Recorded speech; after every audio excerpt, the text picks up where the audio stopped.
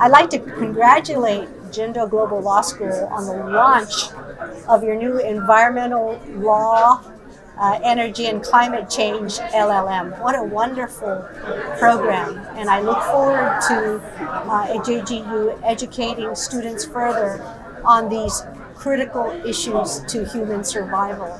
Climate change is the most important issue facing humankind today, and I know that JGU students will continue to take leadership on this very important issue. We at the Hawaii Supreme Court have a really strong and lasting relationship with JGU. As you may know, every year we take four to five uh, judicial clerks every summer at the Hawaii Supreme Court. The students are excellent.